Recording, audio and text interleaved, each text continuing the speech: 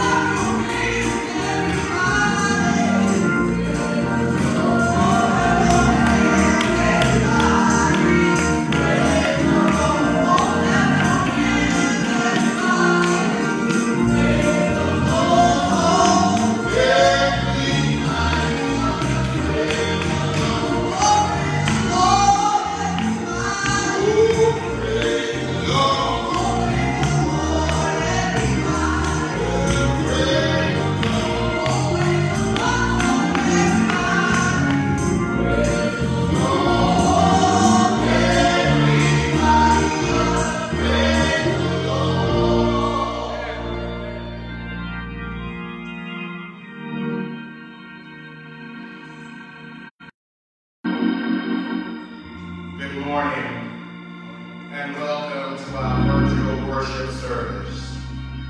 I am the Reverend Jeff Salley, pastor of Canaan United Methodist Church, Greenville, South Carolina, and Sandhill United Methodist Church, Greenville, South Carolina. We greet you this morning in the blessed name of our Lord and Savior Jesus the Christ. My beloved friends, today is the third Sunday of Easter. And we continue to uplift those persons that are in bereavement. We continue to uplift those persons on front lines. And we just ask the Holy Spirit to be our guide today.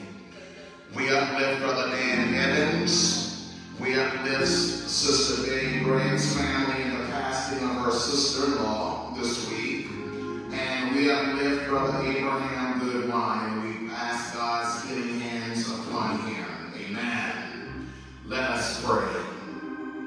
Father God, in the name of Jesus, we thank you again for today's journey.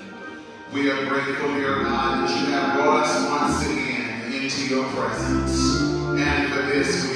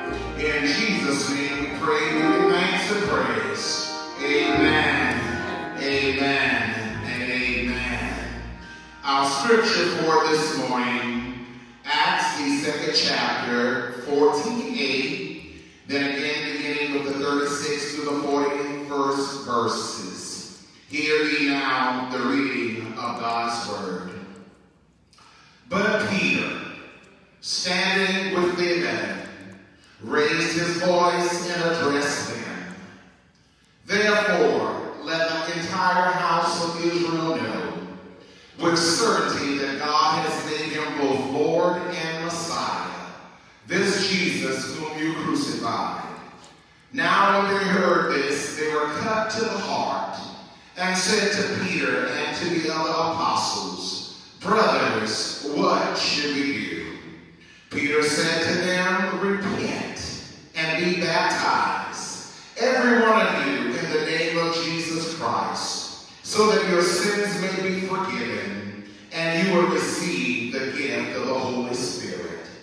For the promise is for you, for your children, and for all who are far away, everyone whom the Lord our God calls to him. And he testified with many other arguments and exhorted them, saying, Save yourselves from this corrupt generation.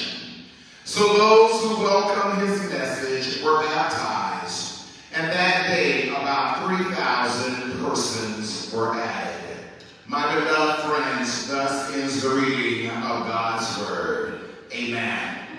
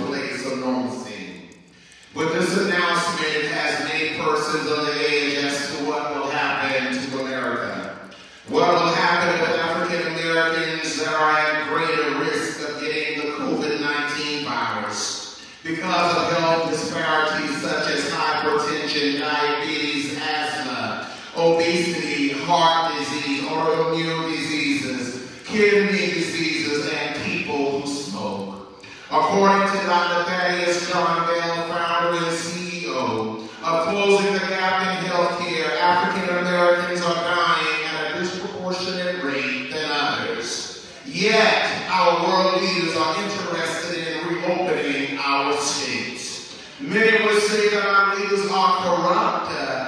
thinking more about money than the welfare of its people.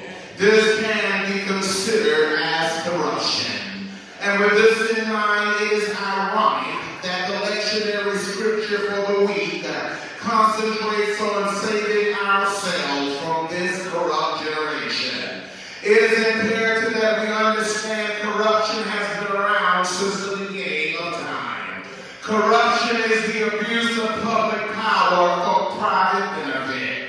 In several cases of corruption, the abuse of public power is not necessarily for one's private benefit, but it can be for the benefit of one's party, class, tribe, friends, family, and so on. In fact, in many places, some of the proceeds of corruption go to the finance, to the financing corruption with the rich as they have placed bribes with our politicians uh, to reduce taxes with the rich. Tax loopholes given so the rich will continue to expand their wealth. There is an increase of tendency for prisons to be privatized, and this is corrupting the system. It is wrong for people to profit from putting and keeping human beings uh, behind bars. Say amen. And with the COVID-19 pandemic, powers that be continue to insist the need for the economy to be a priority versus the welfare of people. My beloved friends, this is truly an example of corruption at its best. As children of God, we must realize that, that corruption is running rampant. But as believers, we must do our part and let strong values, of strong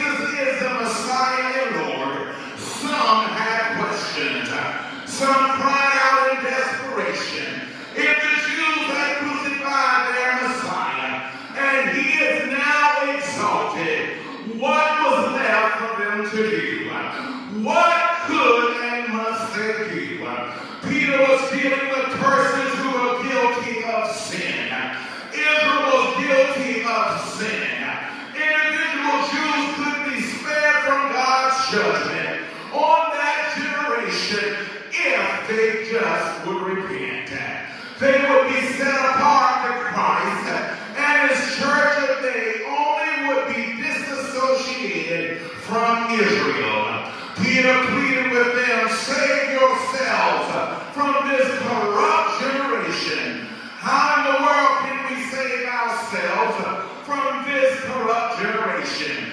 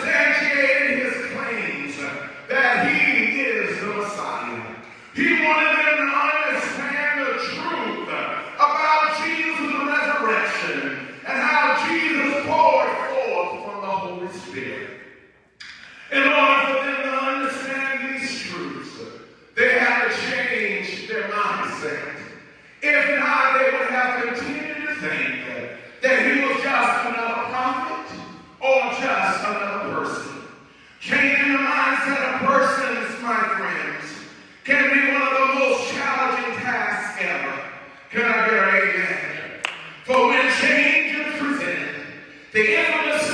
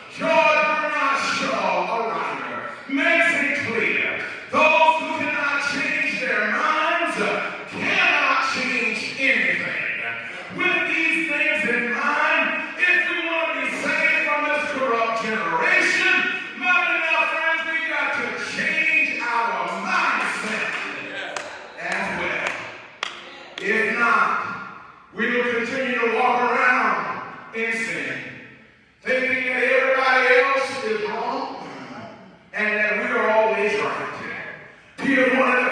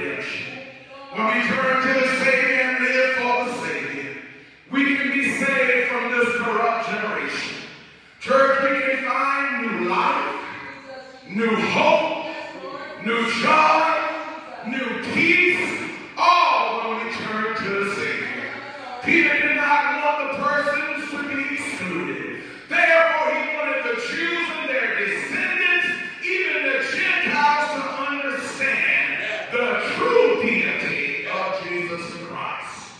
And my dear friends, we can be saved from this corrupt generation when we come to understand that Jesus Christ is the way, the truth, and the life. We can be saved from this corrupt generation because thanks be to God we know who gives us the victory. He paid